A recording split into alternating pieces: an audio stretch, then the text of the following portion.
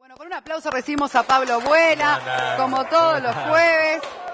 Hoy no, hoy no, hoy no suena No hay nada. música, no. No sé está por qué. tranquilo, por lo Me menos acá, capaz que suena al aire igual. Bueno, ¿Cuál es el ¿cómo tema que nos traes hoy? Bueno. YouTube. Sí, vamos a Qué hablar, gran fenómeno. Vamos a hablar de algo que quizás este, también hay algunas personas que se puedan sorprender con lo que venimos a hablar, que tiene que ver con el fenómeno de los youtubers. Este, ¿Tenés idea? Bueno, creo que en algún momento se ha Youtubers, hablado acá en el protagonistas. programa. Youtubers, bueno, tiene que ver con YouTube, este, con, con este medio que así lo podemos este, definir en Internet, de los más relevantes en el mundo, que para hacer un poquito... Igual vamos a hacer un avance ahora, ¿eh? Después Ah, vamos a hacer la pausa y después vamos a Ah, adentrarnos. no- no- nos vamos a quedar con esto. El, el YouTube, un medio que surge en el año 2005 y que en el, digamos creado por estas tres personas y que en el año 2006 fue comprada por Google en más de mil millones de dólares. Oh. Así que vamos a hablar de cómo algunas personas en Uruguay y ya nos vamos al corte, cómo algunas personas en Uruguay están utilizando el, este, el fenómeno de YouTube para poder posicionarse y hacer cosas de impacto. Y ganan mucho dinero, señoras y señores. Muy Qué bien, bueno. bueno, quedamos acá con estos tres amigos. Ahí está, seguimos con el tema, estamos hablando de YouTube,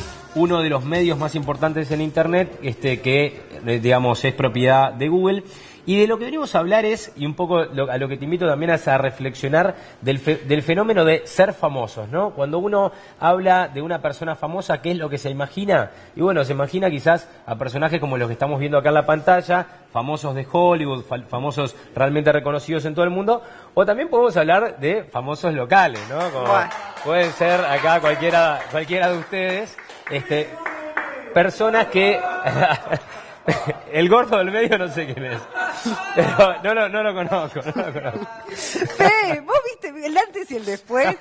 Bueno, no- no- nos desconcentrás, viste, Ah, con, bueno, con esta- con estos aclaro- datos que traes. acla- bueno, aclaro que esta foto la encontré a través de Google, o sea que en definitiva es lo que aparece de vos, Fede, en, en internet. Actualicen, les pido. Estás bien Bueno, igual en la bien, foto. Bueno, Fede. Pero en definitiva, eh, el, el concepto de famosos que normalmente tenemos es, son famosos que surgen principalmente por televisión, o sea, que son conocidos a través de televisión. El fenómeno que, digamos, lo que está pasando ahora, el, el gran cambio que se, que se da, es que no solamente se generan famosos a través de medios como la televisión, sino te- que también YouTube se está transformando, este, junto con otros medios digitales, en canales de generación Claro, de en famosos. plataforma de, de celebridades. Y ahí es que surge el término de los youtubers, que en definitiva son personas que generan contenido audiovisual para YouTube, generan videos en YouTube, videos para Internet. Y hoy voy a hablar de algunos casos locales. Este, acá tenemos el, el primero de ellos, eh, se llama Gonza Fonseca. Quizás muchos dirán, pero para mí esta persona no es famosa, yo no la conozco. Pero en definitiva, este, algunos datos de Gonza Fonseca. Él es un chico que arma su canal de YouTube en el año 2010 y que hoy, si sumamos las reproducciones de todos sus videos, es decir, las visualizaciones de sus videos, eh, casi llegan a 38 millones de visualizaciones. Upa, ¿y Y qué tiene- hace y Fonseca? tiene, tiene casi, ahí estamos viendo un, un video de él. Sí, Uruguayo, sí, reiteramos, es- ¿eh? Obviamente es uruguayo. Tiene este, más de o casi 500 mil personas suscritas a su canal de YouTube. Bueno, básicamente lo que hace Gonza Fonseca es este, hacer videos desde el cuarto de su casa, o sea, no, no, suele salir a la calle, donde hace como una especie de stand-up, este, digamos, hablándole a la cámara y eh, hablando de distintos temas. Puede hacer, por ejemplo, algún tipo de crítica graciosa a videos que suben otros usuarios en Internet. O sea, distintas cosas realmente es, es muy divertido. Y podemos pensar, bueno, ¿y a quién capta el interés, no? O sea, ¿para quién es interesante? Bueno, claramente este, son videos generalmente para un público más bien joven y que le gusta quizás mirar un contenido que puede ser bizarro, que puede ser divertido. Él, él, él se titula un poco que los videos que él hace son de un humor este, en cierta medida negro también. ¿Sabes qué los vas a traer acá, Pablo? Bueno, sí, Vamos a conocerlos en persona, a estos youtubers buenísimo. uruguayos. Pero entonces, eh, comentar. A través de YouTube una persona puede llegar a generar un impacto enorme este, y no solamente a través de YouTube, también vemos acá el caso de Gonza Fonseca, como tanto en Twitter, en Instagram como en Facebook, en todos los medios digitales tiene una cantidad de seguidores impresionante. 90, casi 91 mil seguidores en Twitter tiene, pero No. más que cualquier local. Eh, eso es en Instagram, Ah, en en Twitter todavía Instagram. mucho más, cien- casi 134 mil. 134 mil seguidores en Twitter. Personas que no son quizás conocidas como famosos, pero que sí lo son para muchos, este, para muchas personas. Otro caso también uruguayo es el de estos chicos, son tres chicos, se llama Dos Ah, Sogas. estos los conocemos. Este, que también tienen, por ejemplo, en, en este video más de 200 225 mil reproducciones, más de 200 mil seguidores en su canal de YouTube y lo mismo también pasa con las otras redes, o sea, el caso de Facebook, Twitter, Instagram y demás, también son fuentes este, para ellos de posicionamiento personal. En este caso ellos hacen distintos tipos de videos, salen mucho de la calle, en este por ejemplo es uno bastante divertido, que se disfrazan de karatecas y salen este, por 18 de julio. Sí, hacen bromas y demás. Y hay un caso muy interesante, es un video que probablemente tenemos para pasarlo y que nos permite ver el impacto que ellos tienen. Fue este, un viaje que hicieron a Buenos Aires, ahí ellos están caminando en ese video por Buenos Aires y en un momento se arma una actividad en la cual los fans de ellos en Buenos Aires se reúnen en una plaza como para recibirlos. Realmente, este, ahí a uno que no está quizás en este circuito de los youtubers, se te cae la ficha del impacto que tienen y ve, digamos, si, ahora este, podemos poner algunas imágenes, sí, vemos que se transforma hasta en algo peligroso para ellos, porque cientos y cientos y cientos de personas se les tiran arriba, este, como. Ahora, Pablo, estamos hablando sobre todo de eh, gente muy joven, los seguidores de estos youtubers, sí, evidentemente. Y te pregunto otra cosa que, es lo que no quiero entender. Eh, ¿Se hacen famosos porque se empieza a viralizar y se empiezan a promocionar los videos. ¿Cómo se llega a tanta gente? Porque vos subís tu video y ¿cómo sabés Obviamente tiene que haber un componente, y ahora yo voy a comentar un poco de eso, este, de, lo divertido, de lo bizarro, este, hacer cosas creativas, y después también siempre hay una variable de suerte. boca a boca. Siempre, sí, una variable de suerte también de que la gente comparta tu contenido, pero digamos que hay sí ciertas cosas que te, pueden ayudar a, este, a que tus videos puedan ser más vistos. Ahora voy a mencionar un poquito sobre eso. El último caso uruguayo son este, dos chicos que se llaman Dos Bros, eh, ellos sí, a diferencia de los otros, quizás apuntan a un público un poco más chico, quizás chicos de 13, 14, 15 años, es el público al que más impactan este, los contenidos que ellos generan, y también más de 200.000 seguidores en, su cuenta de, su canal de YouTube. Este, por ejemplo, este video, más de 300.000 vistas. Eh, es muy grande el impacto de todos los videos que ellos suben, y hay mucha gente que está a la expectativa de ver cuándo suben un próximo video, como para poder este, generar algún tipo de interacción con ellos muy importante, Sole, vos lo decías recién, eh, digamos, el hecho de buscar que la gente comparta, ¿no? Entonces, todos los videos de ellos tienen una característica que terminan de esta forma, buscando que la gente los siga en otras redes sociales, buscando, buscando que la gente se suscriba a su canal. En definitiva, ellos no solamente generan un video para que lo veas y punto, sino que generan un video en donde además te motivan a que seas un suscriptor del canal, es decir, que los próximos videos que ellos los publiquen, vos los puedas ver, y también para que los puedas seguir en otras redes sociales, porque quizás hay alguien que no te, no te ve por YouTube, pero sí te ve por Facebook o te ve por Twitter o por Instagram. O sea, es una, estrategia integral.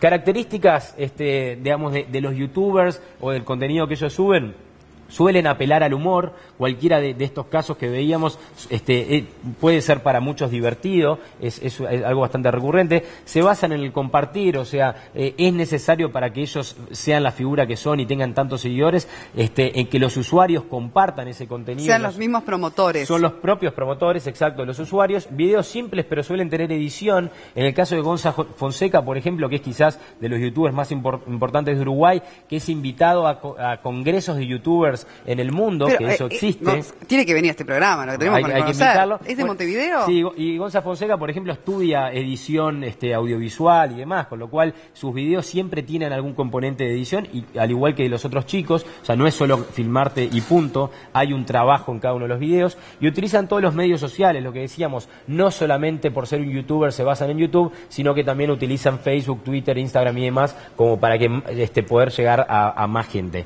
Eh, la conclusión, y, si quieren ahora hablamos un poco del tema plata, este, es si querés ser un youtuber, empezá por armar tu canal de YouTube. Quizás hay gente que dice, che, a ver cómo es esto, qué es lo que hacen estos pibes, me puede interesar hacerlo. Bueno, lo primero es, todos tenemos las herramientas como para decir, me armo mi canal de YouTube y empiezo a generar eh, contenido audiovisual.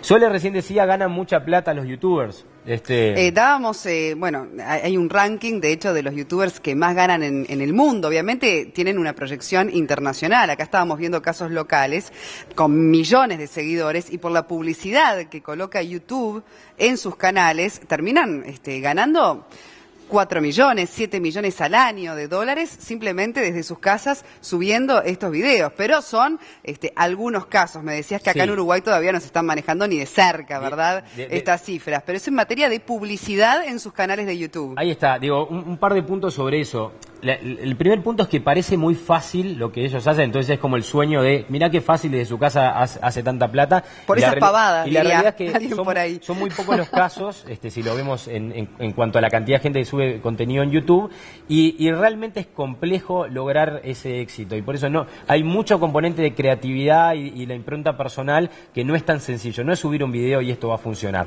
Y después lo otro, ¿cómo ganan plata? Bueno, la realidad es una construcción de años. Veíamos el caso de, este Gonza Fonseca, hace este, cinco años tiene su canal de YouTube, no sé si está llenándose o, no de plata. Dudo que en Uruguay hoy todavía pueda haber una oportunidad demasiado grande en este sentido, pero generalmente ganan plata con publicidad dentro de su canal de YouTube, con marcas que quieren meterse dentro del contenido. Ya esto está pasando con estos chicos que viene una marca y le dice, ¿sabes qué? Toma... Eh, Hacemos un sketch con, sí, con esta el mayonesa. exacto, con la mayonesa. Bueno, eso está pasando también y después ganan plata de una forma ah, paralela, que es que gracias a la fama que esto les da, por ejemplo, los invitan a eventos, actividades, actos de presencia y demás, y eso también puede ser una, fuente de ganar plata, no estrictamente en el medio audiovisual, pero sí gracias a la fama que generan. Pero evidentemente tienen un qué sé yo que no lo tiene cualquiera. Exacto, o sea, no es fácil, este, quien sepa de un poco de YouTube se dará cuenta que generar la cantidad de visualizaciones que ellos generan es, este, es muy, muy complejo. Así que bueno, hasta acá llegó un poco lo que veníamos a hablar sobre YouTubers,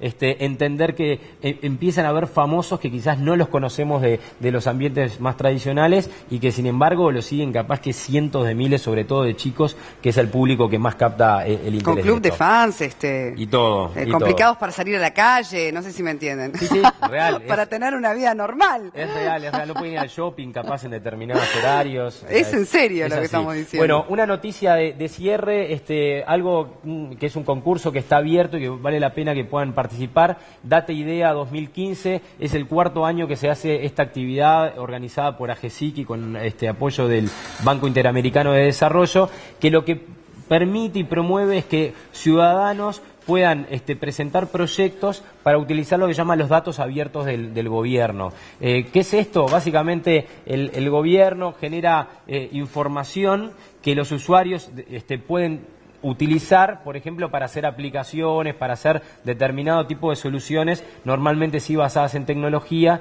Entonces vamos a suponer, hay datos abiertos de no sé, de cuántos usuarios van a, los centros hospitalarios. Bueno, capaz que un usuario dice, con esos datos abiertos, con esa información, genero alguna solución que pueda ser de utilidad para todos. Claro, desarrollos este, tecnológicos que, puedan este, utilizar, eso como, esos datos abiertos. Como base. Pongo acá la web de AGESIC donde está la información de, de este concurso para quien quiera investigar un poco más y poder participar de este concurso para generar ideas este, con los datos abiertos. Excelente. Bueno, Pablo, como siempre, muy divertido y muy interesante. Gracias por seguir enseñándonos de este mundo, este, donde, bueno, para muchos hay todavía mucho que descubrir. Hay mucho que descubrir y también hay oportunidades. ¿Quién te dice que alguien que nos esté mirando se pueda transformar en un youtuber famoso? Pero acordate de avisarnos, ¿eh? de agradecer, como dice la canción.